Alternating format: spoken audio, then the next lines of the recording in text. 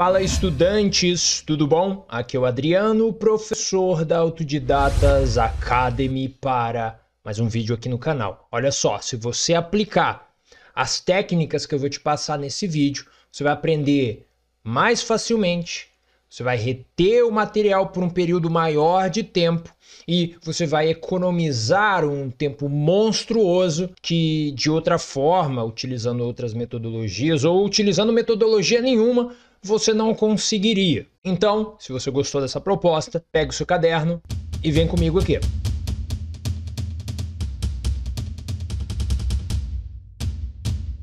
Estudar e memorizar o material.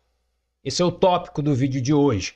Olha, estudante, antes de eu passar as três técnicas, deixe salvo aí no seu celular ou no seu computador o meu livro digital gratuito com 11 estratégias de estudos avançadas. Eu falo lá sobre como que você planeja, técnicas para que você entenda, técnicas para que você memorize, técnicas para você revisar o material que você aí está estudando. Maravilha? Então eu acho que esse livro digital vai te ajudar demais aí no seu processo de aprendizagem e tornando seus estudos um pouco mais eficientes a cada dia de uso, ok? Então olha só, a primeira técnica que eu quero que você comece a utilizar aí, eu dei o nome assim, ó, fazer e manter uma agenda de estudos.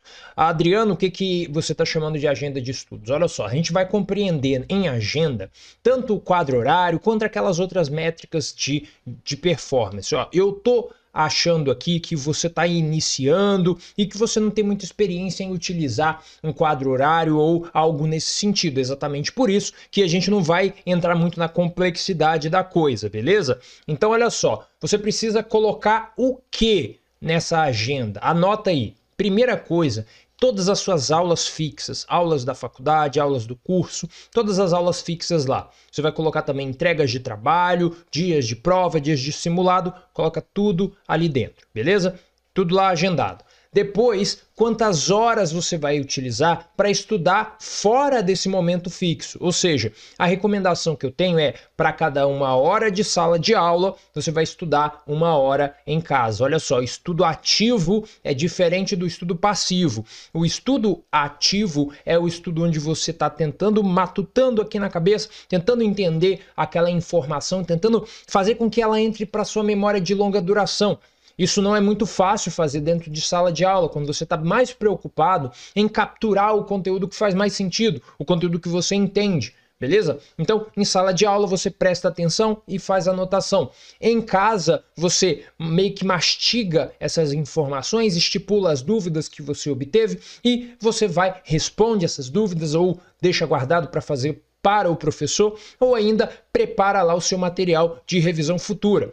Me entende? Então é um momento, são momentos diferentes, são técnicas diferentes e fazendo do jeito que eu estou falando aqui vai tornar os seus estudos bem mais eficientes. A partir daqui a gente vai para a técnica 2. Na técnica 2, o foco principal é no entendimento. Estou falando aqui de compreensão mesmo. Então o professor falou ABC e você entendeu ABC entendeu? A maioria dos estudantes tem grande dificuldade em avançar os estudos porque eles gastam uma tremenda quantidade de tempo tendo que voltar lá atrás, reestudar de novo. E isso gasta um tempo monstruoso e o problema é que o ciclo se repete, então você volta várias vezes, entende? Pessoal que estuda matemática sabe muito bem disso. Volta, volta, volta, volta tenta avançar, não consegue, e tem que voltar de novo porque faltou alguma coisa lá atrás. Então, estudante, a gente precisa tentar evitar isso ao máximo e para fazer isso você precisa estar tá ali focado no professor, prestando atenção na leitura no momento de consumo. E para fazer isso, a maneira que eu recomendo demais, tem até curso sobre isso, que é a técnica técnicas de anotações. Você já conhece uma técnica que é a maneira linear de escrever ou uma maneira topificada de escrever beleza? Então você vai ter que ir, estruturar um pouco mais. Eu não vou te dar regras nenhumas aqui, ok? Eu quero que você estruture mais o processo de anotações para que você entenda, a, olhando assim aquele material. Pensa assim: ó, vai ter uma prova amanhã ou vai ter uma prova daqui uma semana. Você quer ser capaz de abrir o seu caderno e entender aquela informação. Não tá tudo bagunçado que não dá nem você nem outra pessoa entender. Não, não, não esteja muito espaçado, não esteja muito embolado, esteja tudo ali pronto, fichado. Ou seja, você está organizando um material próprio para o outro você, o você do futuro, o você que está se preparando para a prova. Então, isso é importante que você pense. Olha, o você de agora pode não lembrar das coisas que você lembra hoje, porque você vai sofrer com a curva do esquecimento, você vai esquecer da informação. Então, pensa aí quando você estiver estruturando o seu caderno ou estruturando as suas anotações, que o você do futuro pode não se lembrar de muitas das coisas. Então, colocar um acrônimo é uma maravilha, mas se você não colocar em algum momento, em algum lugar, é, o que, que significa aquele acrônimo, pode acontecer de você se esquecer. E se você se esquecer e não ter colocado isso em algum lugar, que você já planejou com antecedência, você não vai se lembrar e vai acabar perdendo aquele acrônimo que poderia ter sido, que pode ter sido uma boa ideia no momento de criação. Beleza? Então, olha só, você vai precisar fazer anotações e essas anotações precisam ser eficientes. Para ser eficientes, eu falei várias coisas aqui que não podem faltar. Você está anotando aí do seu lado. Ah, Adriano, eu quero mais é, técnicas, eu quero técnicas mais avançadas e eu quero que você me ajude nos meus estudos. Então, vai lá no Anotações Eficientes, tem aqui um link na descrição, você pode ir lá e conhecer e receber minha ajuda particular aí no seu aprendizado e ainda mais 5, 6 técnicas de anotações que vão te ajudar a entender e reter o material estudado, beleza? Técnica 3. Olha, na técnica 3, o que eu recomendo para você, estudante, é que você coloque como regra. É uma regra subjetiva, mas é uma, é uma regra que te ajuda no longo prazo, no médio e longo prazo. É uma regra assim, ó. Somente acredite que você aprendeu quando conseguir recitar. Como assim? Quando você conseguir falar de uma maneira que você que está se escutando é, consegue falar. Ah, é, eu realmente entendi. Entendeu? Ah, você entendeu a fórmula de juros compostos? Entendeu? Ah, a fórmula de juros compostos serve para me encontrar, do jeito que o professor me ensinou, o montante. Ah, e, e como é que escreve ela? Hum, escreve ela M igual C, abre é, parênteses, 1 mais o I elevado ao T, que é o tempo. Ah, então beleza. E se eu precisar lembrar ou encontrar o capital, como é que eu faço? Ah, é assim que faz. E se eu precisar lembrar da taxa, eu consigo fazer a manipulação dessa fórmula geral e encontrar ali uma fórmula é, que vem dela, derivada dela, para que eu consiga encontrar a taxa? Hum, deixa eu pensar. Aí você vai recitando conforme você vai pensando e vendo se você consegue realmente lembrar daquilo. E acredite, somente se você conseguir recitar que você aprendeu a, o seu maior inimigo, o seu maior inimigo, o seu arqui-inimigo estudante é a sua capacidade de acreditar em mentiras, em emoções. Então você sente que aprendeu, mas você não aprendeu de fato, você só está sentindo e se você acreditar nisso, você vai avançar para o próximo tópico e você vai ter que no futuro voltar. Ou o pior ainda é você vai ter uma prova na sua frente com um monte de informação que você jurava ter conseguido aprender, e aí naquele momento você leva ali um tapa na cara de papel, né, da, da, da, da prova, e é, você vai, vai, vai, nossa, eu dei um branco, mas você não deu um branco.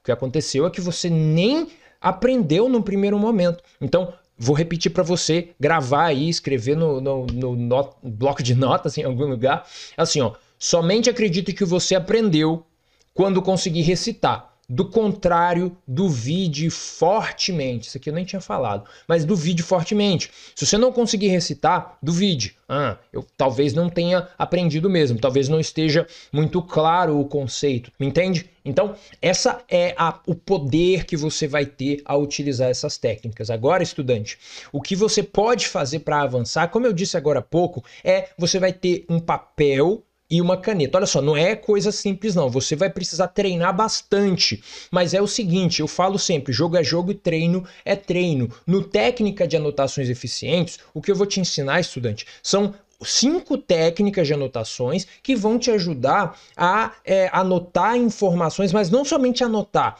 O foco principal é na compreensão. Então, quando você estiver lá entendendo, é, vendo a aula, assistindo a aula, você vai fazer um mapa mental, você vai fazer um cornel, entendeu? Então, eu te ensino a técnica da coisa e ainda vou te dar uma aula ao vivo, um a um, onde a gente vai conseguir discutir e eu vou pode, é, se você fizer essa pergunta, posso até montar um plano só para você, te dar dicas específicas sobre o que, que você tem que fazer. É 30 minutinhos e vai te ajudar demais aí no seu processo. Depois você vai ganhar também o meu WhatsApp. Olha só que maneiro. Você, ah, eu tô com uma dúvida tremenda aqui, eu, eu usei o mapa mental por uma semana e eu não tô conseguindo avançar, eu não, não tá ficando claro para mim. O que, que eu faço? Manda um áudio para mim e aí eu te respondo em até 48 horas.